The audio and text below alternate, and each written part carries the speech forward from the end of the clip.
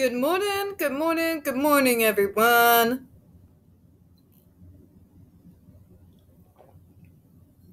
Welcome to another episode of Spilling Tea. I'm your host, Tiffany Daniels.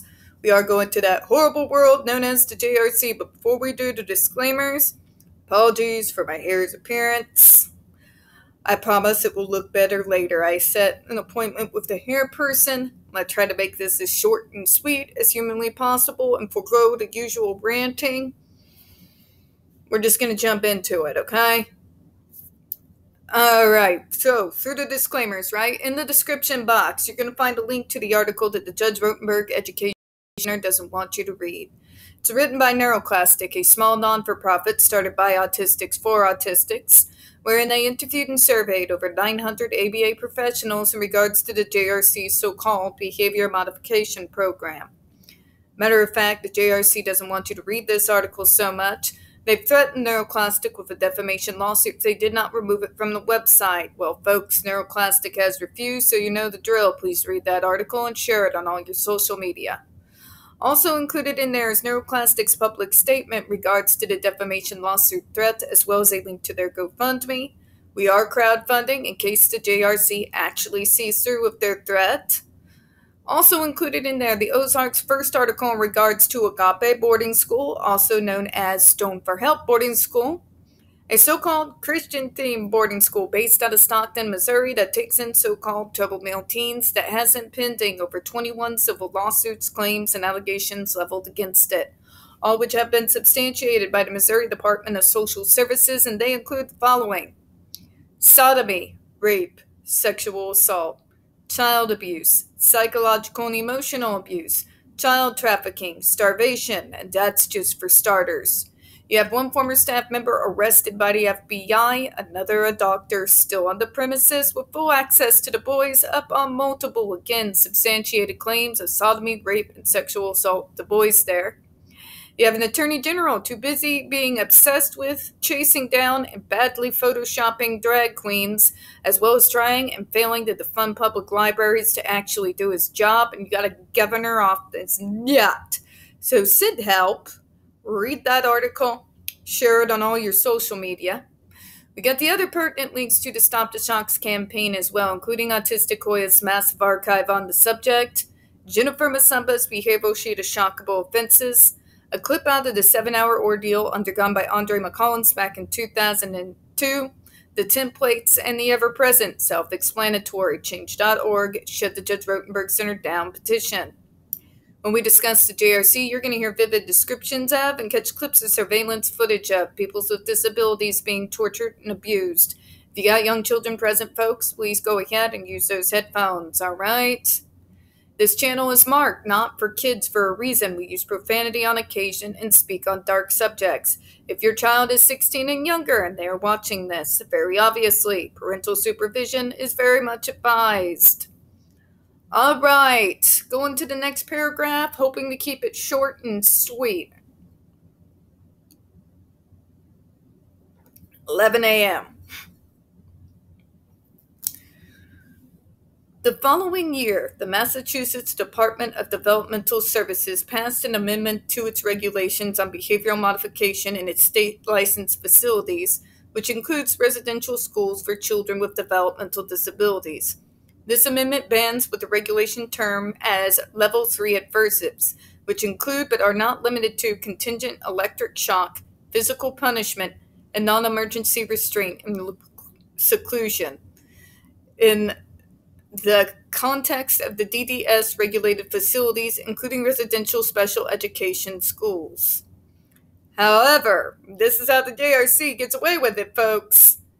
They grandfather in the use of such interventions on children who had court approved treatment plans that included them as of the 1st of September 2011. And they found even more loopholes since then, kids. Okay? They call it grandfathered in, but we all know for a fact that the actuality is that law from 1986 is held over the Massachusetts courts like the sword of Damocles. They have found a loophole where if they can get it court mandated, since 2020? Yeah. So the protections that exist for all the other licensed schools to have to go through that department no longer have access to level 3 aversives. The JRC remains the special one. And no one has done jack squat since then. Yeah. Lastly, in March of 2012, Wisconsin passed its first law on the use of restraint and seclusion in public schools. The statute limits their use significantly, stating that they are only permissible when a student poses a clear, present, and immediate risk to him or himself and others, and when there is no less restrictive alternative available, specifically prohibits the punitive use of restraint. Well, all of this is well and good, if you actually read these laws instead of trusting these people. Because take it from me, who's been dealing with politicians and guidelines and this crap since 2006. There are enough holes when it comes to these guidelines to drive a Mack truck through. Okay? The restrictions that they talk about do not get applied whatsoever to any school within the realm of the troubled teen industry. I want you to hear me again.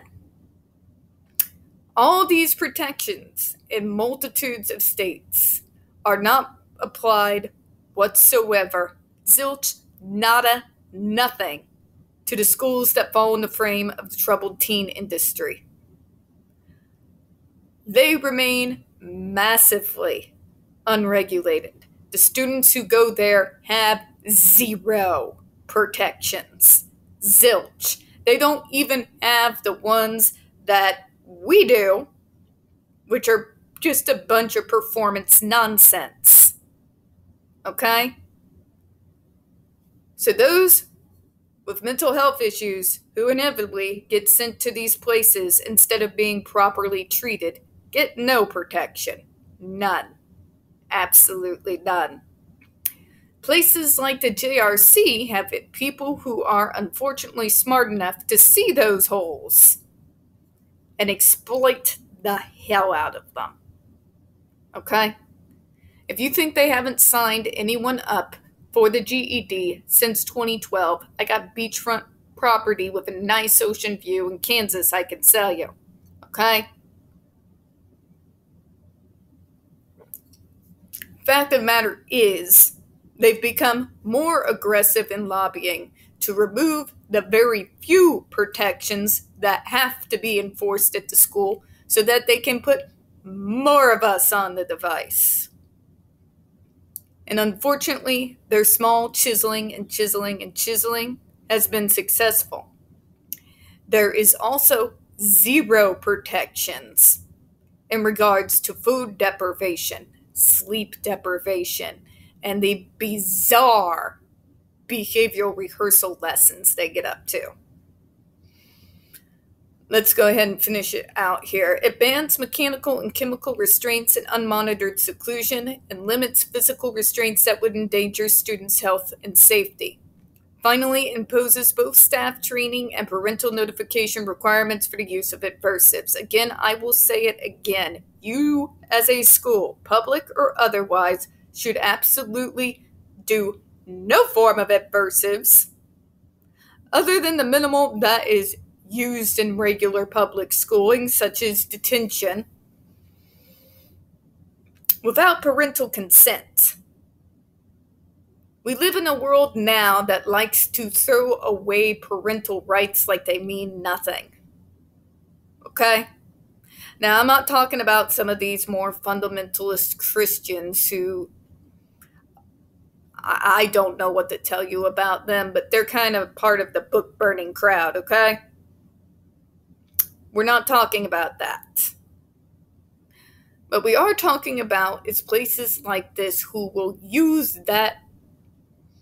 Basically, they use and abuse their power to place themselves in the parental role and removing the actual parents from the picture entirely. What is wrong with that? Well, if you looked at the interviews with the four moms, it becomes very, very apparent what is wrong with that.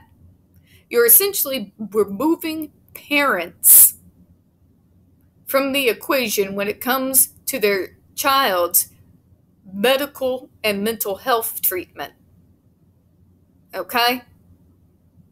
Things that are very much solely a parent's responsibility.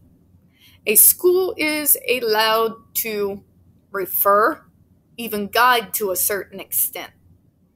They're also allowed to collaborate with doctors, social workers, what have you, like what happened in my instance,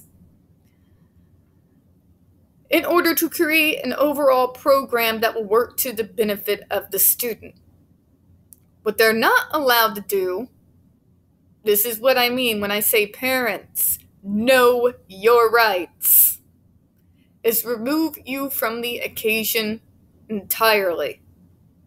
Literally going on with all we have to do is notify you. No. No. Exercise your parental rights. That is your child. Other than the ordinary forms of discipline that can be found in any regular public high school, anything that goes beyond that is at the parent's discretion, not the school's. If there are some forms that are needed due to very disturbing behaviors. I understand that. Remember, I've told you about my stepbrother. Believe me, if anyone on this planet understands that, schools, it would be me. Okay? However, parents should not be informed afterwards like an afterthought. You come to the parents first. It is their kid not the states. Okay? This is why parents need to be more involved, yes, even with their own neurotypical kids' schooling. Because you got a lot of schools these days trying to undo the bans on corporal punishment. I know, I live in Missouri. Please kill me.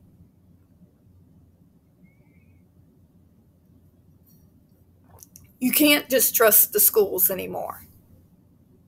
Matter of fact, you shouldn't have in the first place because all this stuff got started in the 90s, where you had a generation of parents that kind of stood aside while they allowed slowly why schools started becoming the parents.